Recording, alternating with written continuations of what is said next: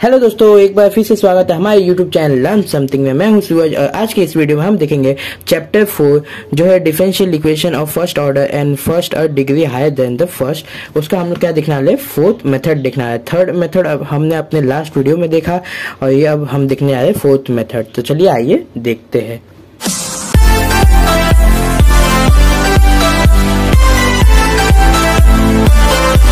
सो हम अपना चालू करते हैं क्या? क्लेरियॉट मेथड स्पेलिंग है C L A I R A U T फिर कोमा एल का इक्वेशन तो the equation of the form x equal to P X plus function of p.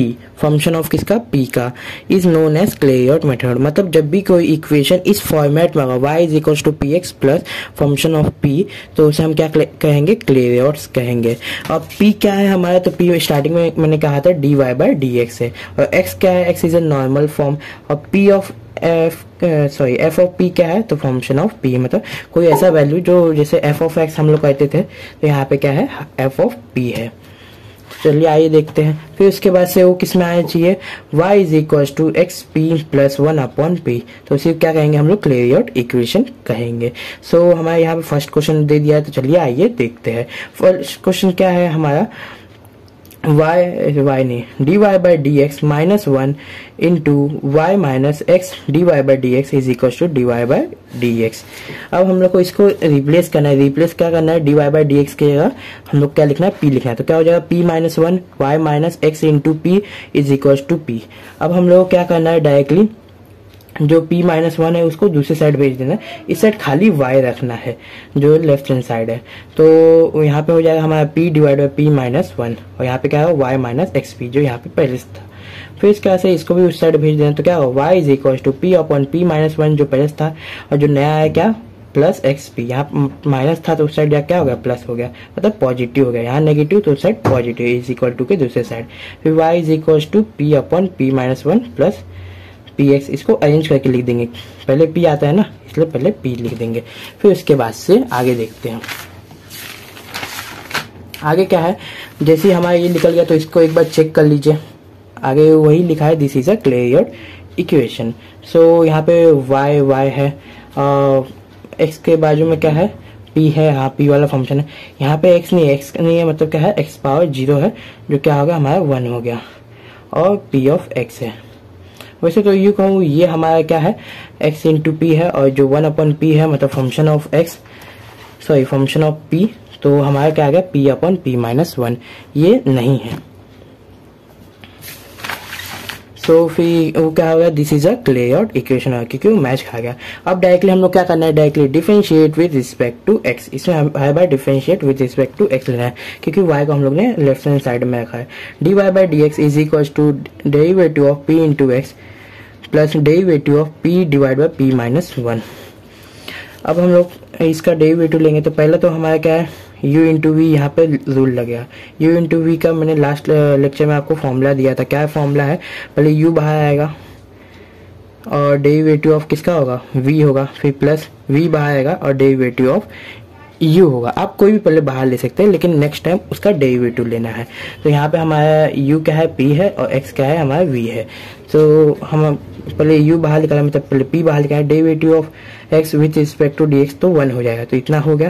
Plus आएगा बीच में, कोई भी आगे पीछे लिख कीजिए। अब x को बाहर निकालेंगे और डेरिवेटिव p लेंगे तो क्या होगा? x बाहर तो D P upon D X हो जाएगा। इतना सॉल्व हो गया। ना हम अब इसको सॉल्व करेंगे। तो पहले तो हमारा, यहाँ पे थोड़ा सा फॉर्मूला अलग लगेगा। यहाँ पे हमारा अपॉन वाला फॉर्मूला है। कौन सा फॉर्मूला अपॉन वाला। मतलब u अपॉन v तो derivative of u upon v का फॉर्मूला होता है derivative of u upon V तो पहले तो हमारा v बाहर आएगा। मतलब जो नीचे वाला टर्म है, उसको पहले बाहर लेना है। तो और डेरिवेटिव किसका लेना है? U का लेना है। जो हमारा पहला टर्म है मतलब p फिर इसका से माइनस अब v बाहर था तो अब कौन बाहर आएगा? U बाहर आएगा।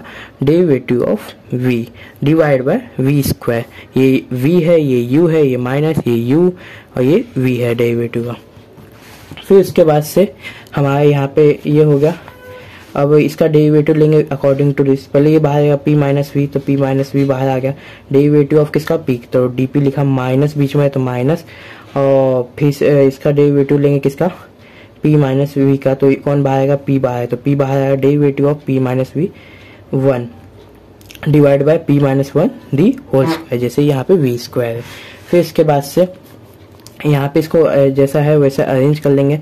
P इंटू वन तो p आएगा plus X into D P upon D X plus P minus one D P upon D X minus यहाँ पे भी क्या होगा?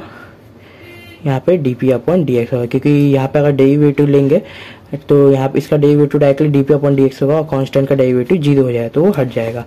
और divide by p minus one का स्क्वायर अब मैंने आपको स्टार्टिंग में बताया है कि हर जगह जहाँ पे d y by d x है, इस चैप्टर में उस, उसका मतलब क्या है वो पी है। तो यहाँ पे d y by d x था तो उसको मैंने क्या ले लिया? पी ले लिया। तो देखिए यहाँ पे पी आ गया।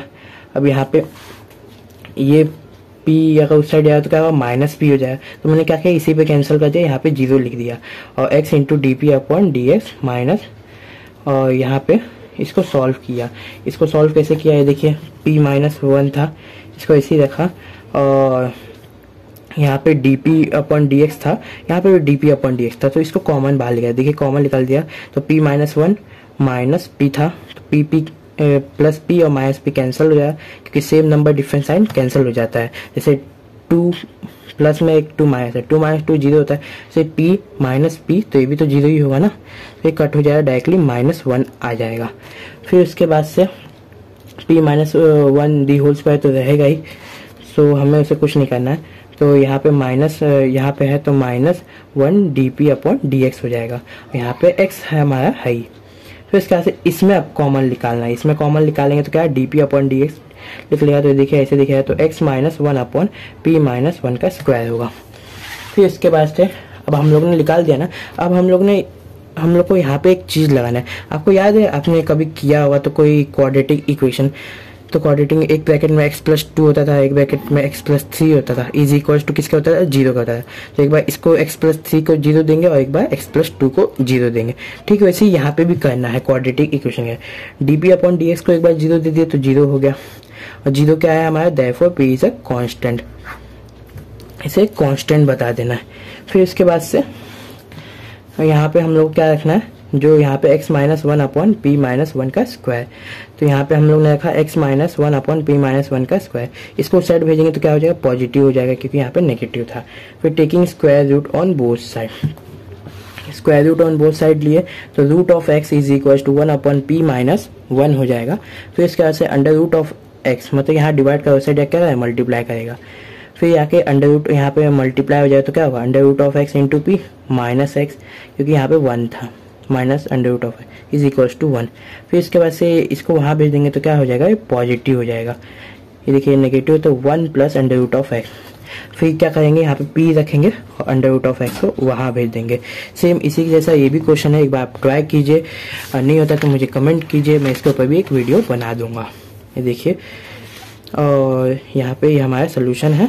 ये हमारा फाइनल आंसर इसी के साथ दोस्तों, आज का हमारा वीडियो और ये फोर्थ चैप्टर खत्म होता है।